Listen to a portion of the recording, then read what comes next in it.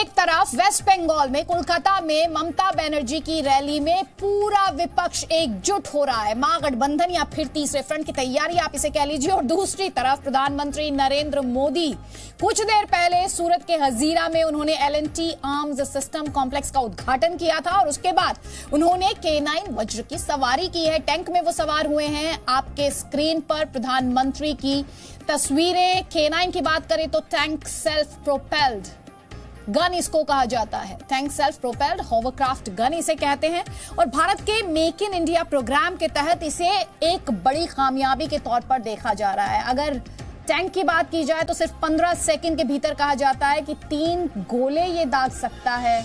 और इसे tuning test के लिए फ़िलहाल सेना के पास भेजा भी गया है, लेकिन इस समय बहुत ही इंटरेस्टिंग तस्वीरें आप अपने स्क्रीन पर सूरत के हजीरा से देख रहे हैं, जहाँ पर एक तरफ़ कॉम्प्लेक्स का उद्घाटन किया गया। डिफेंस सेक्टर के लिहाज से तस्वीरें बहुत इंटरेस्टिंग है। प्रधानमंत्री को टैंक में एंटर करते हुए के नाइन वज्र टैंक किए और ये एलएनटी प्लांट है। प्राइवेट सेक्टर में निर्माण हो रहा है ये।